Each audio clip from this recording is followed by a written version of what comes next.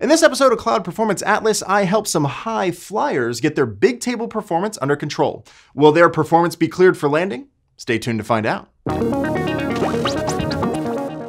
Flightmite provides monitoring systems for hobby, commercial, and experimental aircrafts. Uh, during a flight, their systems collect hundreds of thousands of data samples, all of which get pushed directly into Bigtable, letting their development teams view historical and real-time data about how their systems are performing.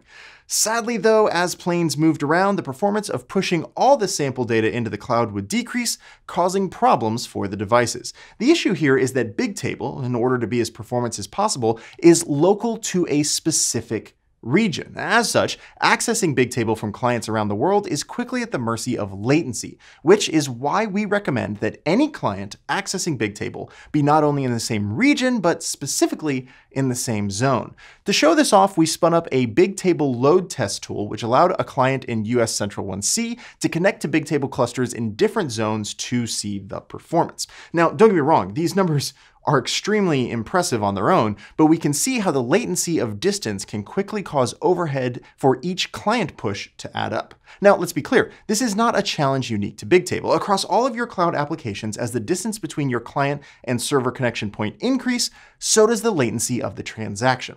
Now, the out-of-the-box solution to this is typically simple, which is uh, just spin up more clusters in more geographic locations.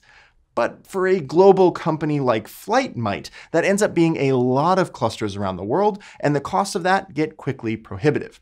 After looking at a number of options, uh, which we describe in more detail in the article linked in the description of the video, we decided to go with a serverless solution. Now, firstly, their clients push data into PubSub, which allows their connections to hit the closest Google Cloud front end as possible. Then they have a Google Cloud function in the same zone as the Bigtable incidents, which are triggered by the PubSub events and handle pushing data right into Bigtable.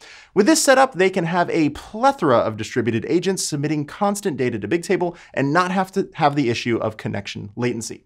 If you're interested to know more, check out the article linked in the description below, and don't forget to subscribe to our YouTube Cloud channel for more great Cloud Performance Atlas content. Because when it comes to performance, every millisecond counts.